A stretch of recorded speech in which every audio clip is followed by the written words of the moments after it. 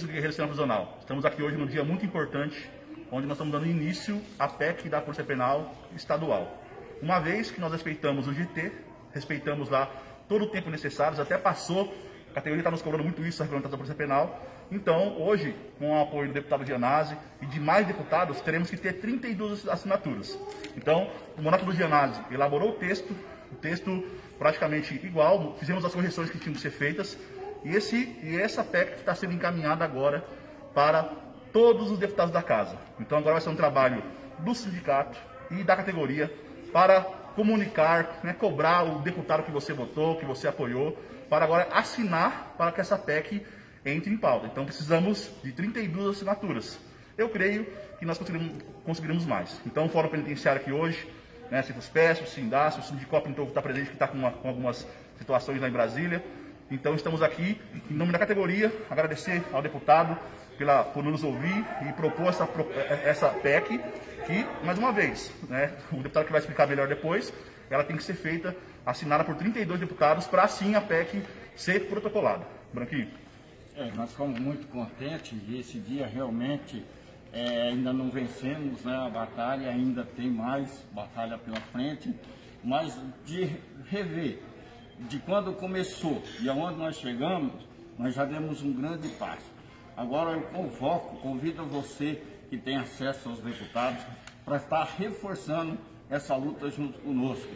Está aqui já agradecendo o deputado Janazzi, é um, aquela pessoa, um deputado que sempre esteve voltado junto à nossa categoria, a nosso funcionário público.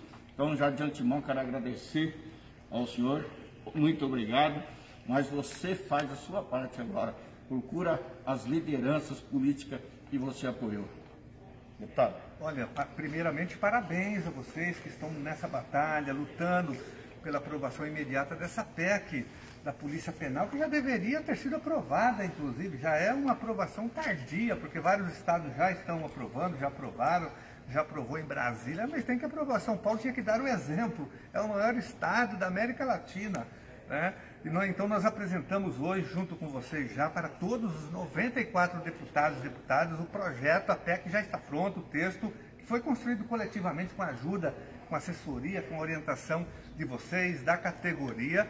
Agora nós vamos atrás das assinaturas. Como disse o Jabá, nós precisamos de 32 assinaturas e vamos conseguir e aí protocolar a PEC e aprová-la. Vai ter todo um movimento aqui de pressão. Vamos realizar audiência pública, reuniões, movimentação para que ela seja aprovada em caráter de extrema urgência. Então, parabéns e contem com o nosso apoio. Agora vamos colocar a mão na massa, buscando o apoio dos deputados. Aí ela será protocolada, vai ter um número, audiência pública e aprovação.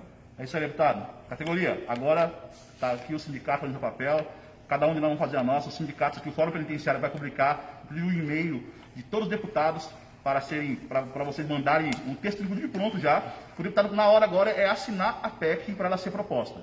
E depois, sim, após isso, é a aprovação da PEC aqui na casa. É isso aí.